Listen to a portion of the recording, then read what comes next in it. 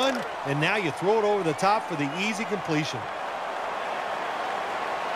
Get ready. The Buccaneers have it at the 44.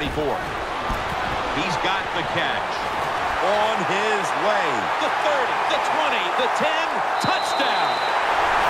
Yep, the offense goes out there and scores a touchdown to put you ahead, it's got to give a big lift to the defense.